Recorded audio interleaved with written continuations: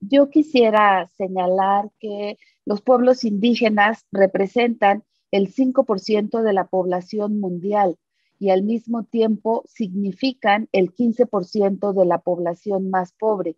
Este dato es el emitido por la propia Organización de las Naciones Unidas.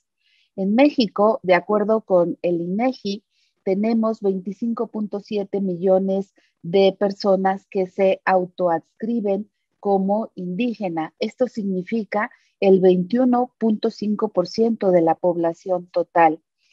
Eh, también es importante señalar en el caso de la Agenda 2030 que justamente este documento tiene la promesa de que nadie quede relegado.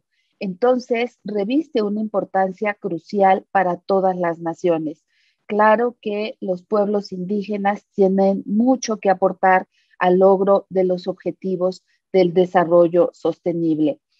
En este día, justamente el 28 de septiembre, que celebramos internacionalmente, reconocemos, visibilizamos el derecho de acceso a la información, celebro que hoy en el Instituto de Chiapas se haga esta visibilización también de pueblos originarios. Bajo esta lógica, visibilizar a los pueblos originarios en los datos es la meta para así garantizar sus derechos y el bienestar de las comunidades.